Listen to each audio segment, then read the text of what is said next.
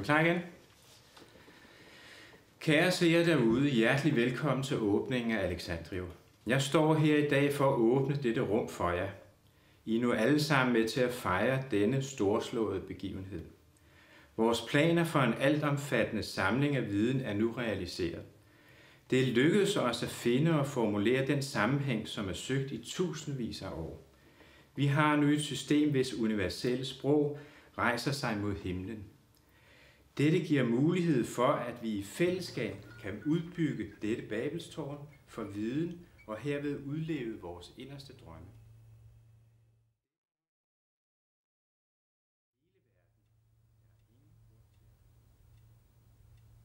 Okay. Skal jeg lige vælge det? Skal jeg også tænde den her gang? Ja.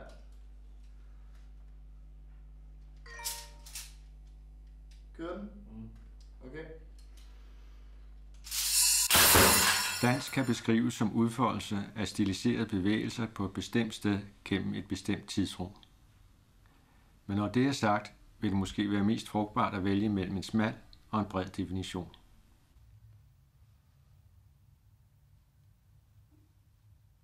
På den ene side har vi alle former for dans, der normalt falder ind under begrebet.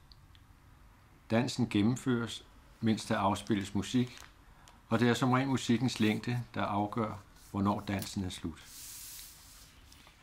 Når musikken stanser, kan deltagerne sige tak for dansen til hinanden, eller de kan vælge at fortsætte til et nyt stykke musik.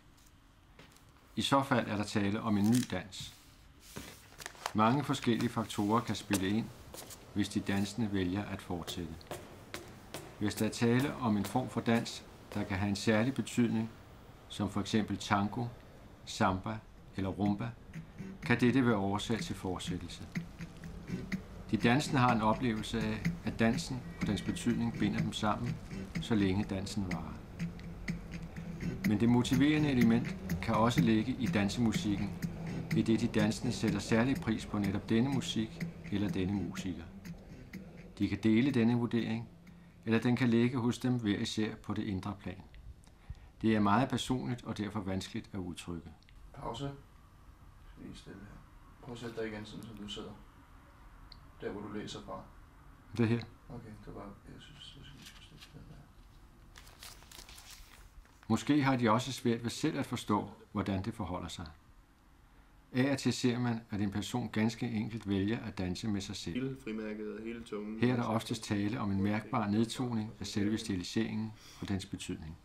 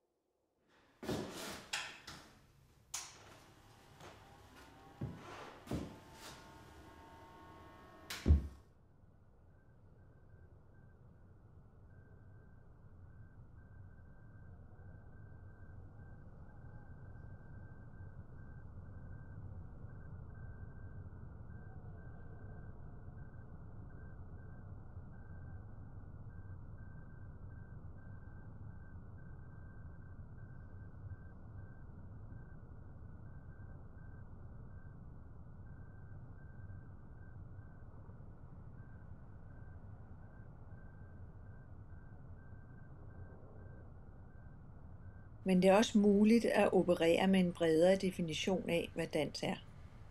Man kan nemlig hævde, at dansen ikke nødvendigvis behøver at udfolde sig på et bestemt sted, gennem et bestemt tidsrum, og musikledsagelse ikke er nogen absolut forudsætning.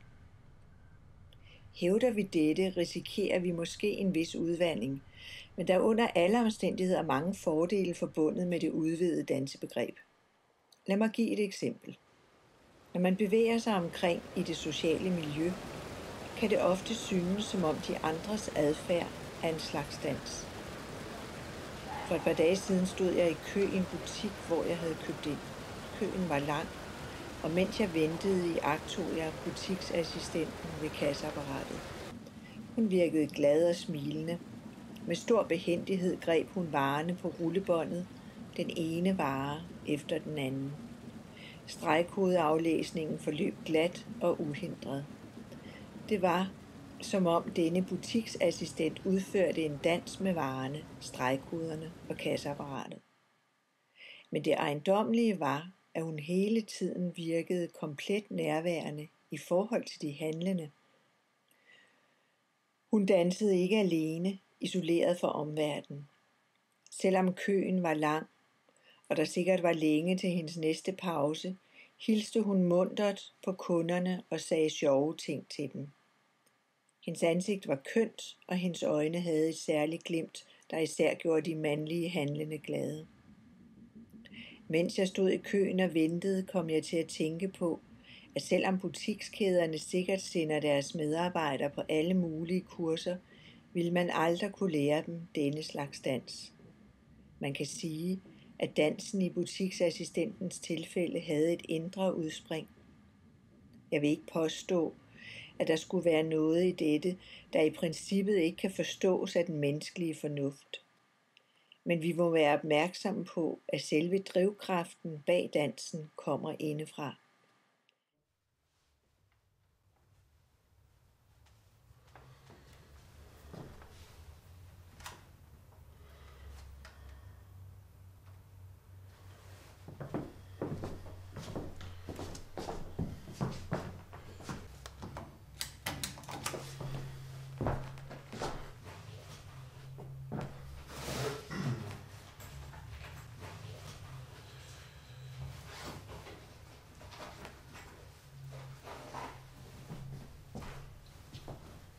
Man kan måske trække en hest til truet, men det er straks mere besværligt at tvinge vandet ned i den.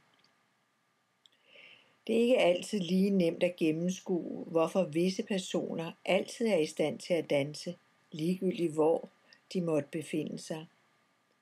Og i øvrigt kan det, der forstærker impulsen hos danseren, også udmærket forstærke bænkevarmerens trang til at blive siddende, hvor hun eller han hele tiden har siddet.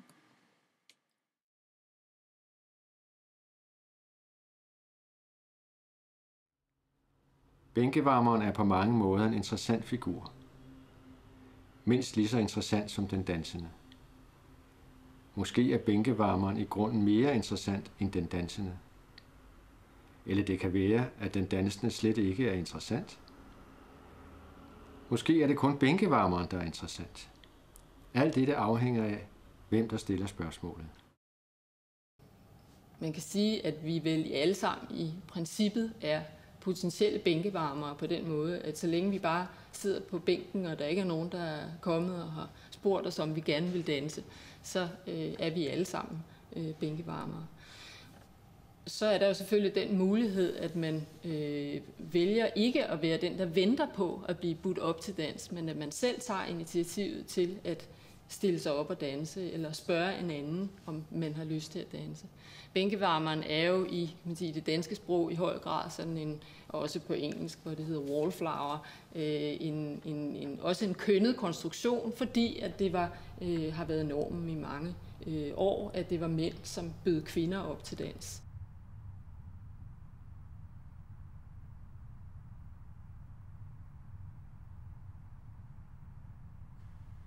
Uanset om vi vælger den smalle eller den brede definition, er der en række faktorer, som vi må holde os for øje. Vi har allerede ophævet den bestemmelse, der siger, at dans er en række trin og bevægelser, som udføres af en eller flere personer i takt til musik. Vi underbyggede dette ved at fremdrage butiksassistentens adfærd.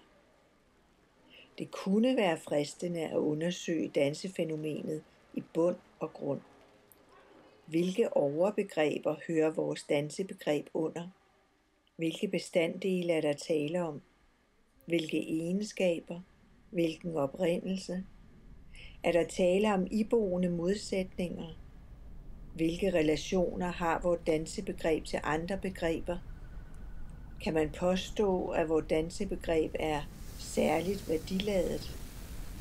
Hvilken funktion tillægger vi det, når hele bredden tages med i betragtningen?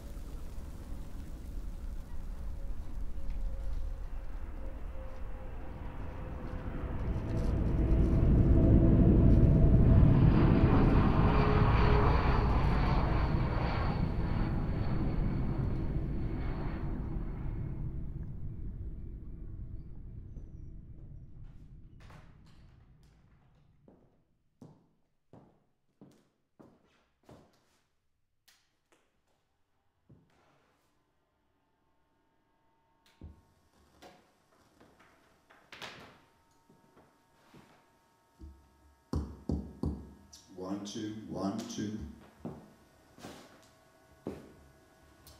You pound to the partner, the corner soul, circle to the left, go around the hall. You circle to the left in a great big ring. When you meet that girl, make a swing. You swing that lady and promenade. You go till I get back home. When I get back home. Heads go right, left, blue. You start through, pass through, do an elemental lift, come back. Turn partner right, do an elemental lift, then join hand and circle to the left, go around and go. Meet with that girl, take the lady, swing that girl and promenade to the back, to the back at home. Wanna get back home. Disse spørgsmål vil næppe være forbundet med pointe, hvis vi ikke foretager yderligere uddybning. Vi kan for eksempel spørge, om dansen kan betragtes som et naturfænomen, eller om den snarere hører ind under det sociale. Kan man sige, at dansen er en kommunikationsform? Kan den være det hele på samme tid? Er dette noget, man kan være bevidst om, når man selv danser? Heads walk up to the middle and back. Sides walk up to the middle and back. Don't element let come back and bound to the partner, the corner soul. That's it, that's that. Put the right hand into the middle and say, thank you.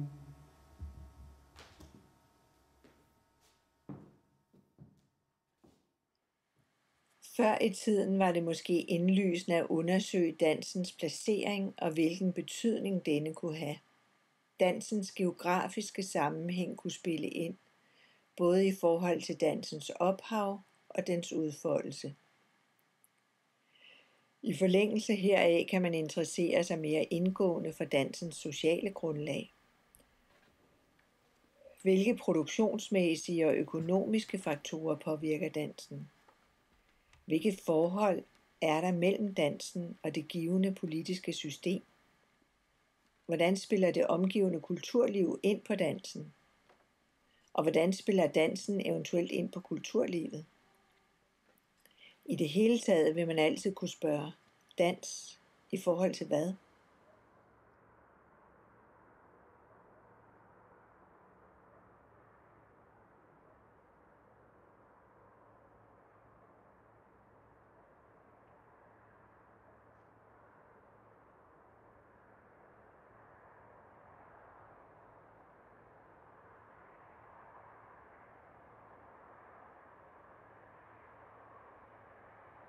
Dette nye hus bliver en gevinst for borgerne i hele verden.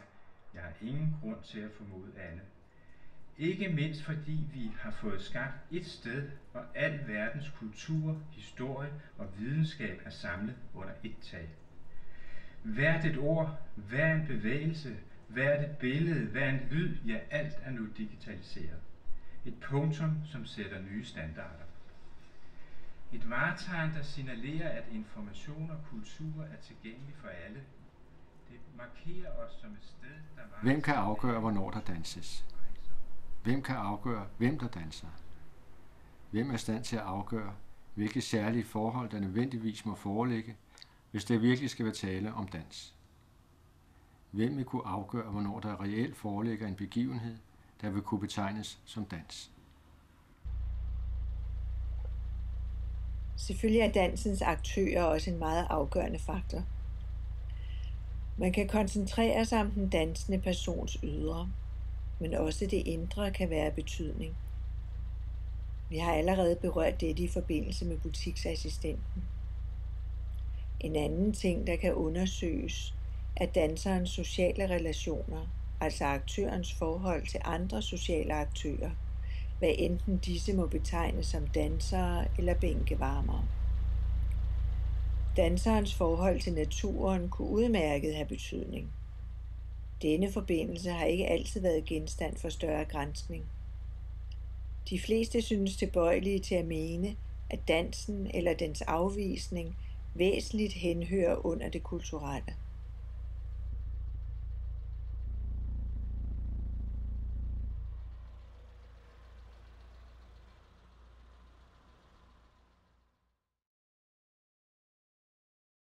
Vi har mest beskæftiget os med dansens rum. Til sidst kunne man stille følgende tre spørgsmål, der har at gøre med dansens tid.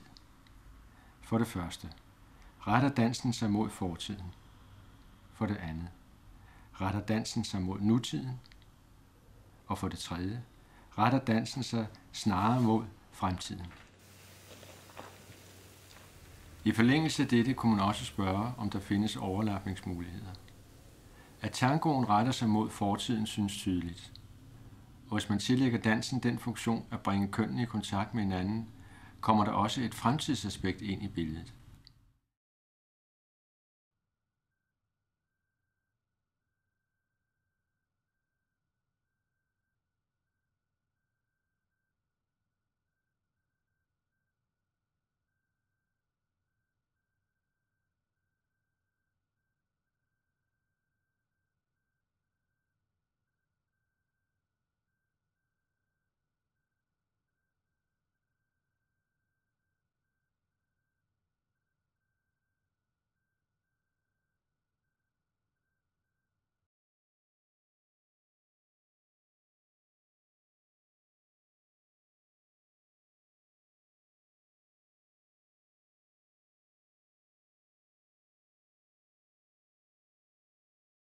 Vi tænder nu sorteringsrobotten og de virtuelle udlånsautomater.